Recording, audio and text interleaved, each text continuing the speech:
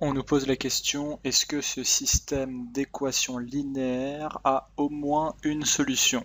Alors d'abord, équation linéaire, est-ce qu'on a déjà vu ce terme avant? En fait, on a déjà travaillé beaucoup avec des équations linéaires, c'est la première fois peut-être que tu vois ce mot, euh, mais c'est assez, assez simple en fait. Ça veut dire que l'équation est sous la forme ax plus by est égal à c ou une forme équivalente qui est par exemple y est égal à ax plus b, où y est une fonction affine de x, et a, b et c sont des constantes. Par exemple, cette équation ne serait pas linéaire si jamais on avait un ax carré euh, plus b racine de y est égal à une constante. Non, dans ce cas-là, on ne serait pas dans le cas d'une équation linéaire. Donc une équation linéaire est une équation où euh, chaque euh, inconnu, x ou y, euh, est à la puissance 1. Voilà. Donc, ce système d'équations linéaires a-t-il au moins une solution? Jusque-là, on a travaillé en fait que avec des équations linéaires. Effectivement, là, on en a deux qui nous sont présentées. Et pour savoir si euh, ce système a une solution, au moins une, rappelons-nous d'abord de ce que cela voudrait dire graphiquement. Donc, on a vu trois cas possibles, trois situations possibles de, de graphique qu'on peut obtenir en représentant y en fonction de x. Regardons ces trois cas. Rappelons-nous à quoi ils ressemblent. Donc, premier cas où on a par exemple une équation jaune et une équation qu'on va représenter par une droite verte.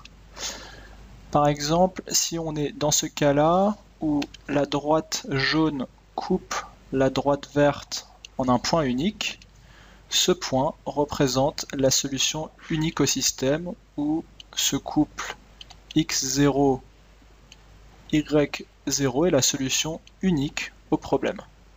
Deuxième cas qu'on a obtenu, c'est lorsque la droite jaune et la droite verte sont parallèles mais pas confondues. Dans ce cas-là, il n'y a aucun point d'intersection, donc aucune solution. Pour résumer ces deux cas, ici on a une solution. Ici, on n'a aucune solution. Et rappelle-toi de la dernière vidéo que tu viens de voir, le troisième cas, dans quelle situation est-ce qu'on est? C'est quand les droites sont confondues. Quand les deux équations sont équivalentes, du coup on obtient deux droites confondues, et là on a une infinité de solutions. Infinité de solutions, car il y a une infinité d'intersection entre ces deux droites. Il y a une infinité de couples XY qui vérifient les deux équations. Donc, quelle est la manière la plus rapide de se rendre compte si les droites représentatives de deux équations auront au moins un point d'intersection Comment se rendre compte si on est soit dans ce cas de figure, soit dans celui-là? C'est bien ce qu'on nous demande. On nous demande est-ce qu'on est dans un de ces deux cas de figure? Et la manière la plus rapide, je pense, est de mettre chacune de ces équations sous, une forme qui fait apparaître euh, le coefficient directeur et l'ordonnée à l'origine. Et dans ce cas-là, on verra euh, si le coefficient directeur sont équivalents, comme ici, mais que les ordonnées à l'origine sont différents, c'est là qu'on se retrouvera dans le cas de aucune solution. Dans le cas contraire, ça voudrait dire qu'il y aura au moins une solution. Alors allons-y. Pour la première équation, mettons-la sous la forme y égale à x plus b la première chose qu'on a besoin de faire, c'est de euh, soustraire x des deux côtés. Et on obtient 2y est égal à moins x plus 13. Moins x plus 13. Et finalement de diviser par 2 l'ensemble de l'équation pour obtenir y est égal à moins 1 demi de x plus 13 demi. Donc on obtient pour cette droite jaune un coefficient directeur de moins 1,5 et une ordonnée à l'origine de 13,5. Faisons pareil pour l'équation verte. On va d'abord soustraire 3x des deux côtés pour obtenir moins y est égal à moins 3x moins 11 et multiplier l'ensemble de l'équation par moins 1 pour obtenir y est égal à 3x plus 11 en fait, on est prêt à répondre à la question maintenant parce qu'on voit que les coefficients directeurs des deux droites sont différents.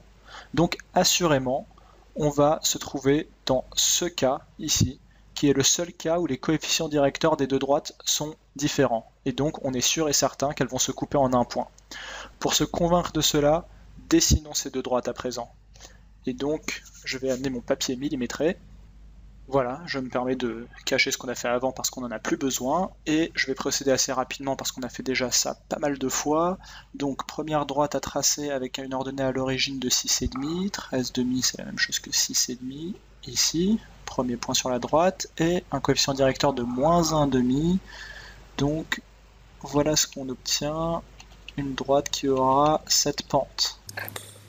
Pente de moins 1,5. Et je vais essayer de faire ça assez précisément. Voilà. Première droite représentative de cette équation, et deuxième droite ordonnée à l'origine de 11, on se retrouve là-haut. Et coefficient directeur de 3, ça veut dire que on a ce point par exemple qui est sur la droite, car quand on avance d'une unité on augmente de 3, donc celui-là aussi, etc. Et voilà notre droite verte. Et on voit que les deux droites, effectivement, comme on s'y attendait, se coupent en un point unique qui est solution de notre équation. Donc la réponse est oui, il y a une solution à ce système.